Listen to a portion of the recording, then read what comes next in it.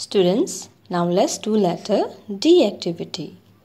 First trace all the D letters. Okay. Now in this activity what we have to do is we have to help the dog to find out the bone.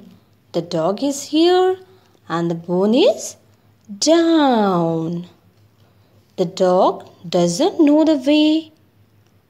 Students, I know you all are smart.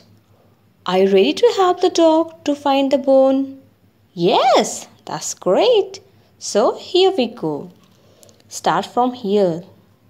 Now the dog is moving very good.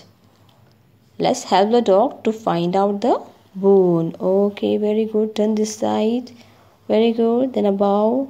Okay, very good. The dog is here now. Very good.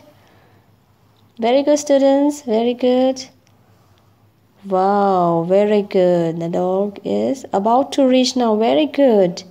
The dog is here, here. Very good.